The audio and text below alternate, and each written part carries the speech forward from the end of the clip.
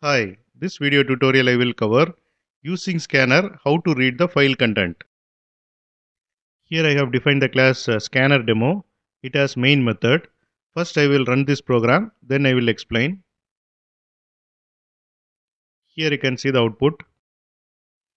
Here I have created a scanner object. In scanner constructor I am passing a buffer reader object. Here I have created a buffer reader object in buffer reader constructor, I am passing a file reader. Here I have created a file reader object using file reader constructor which accept file name. File name is uh, myfile.txt. Here you can see the content of uh, myfile.txt. Using while loop, I am getting uh, each line from myfile.txt and displaying the output.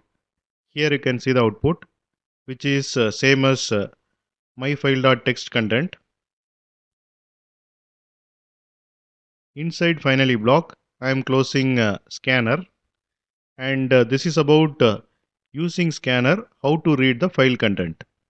And thanks for watching.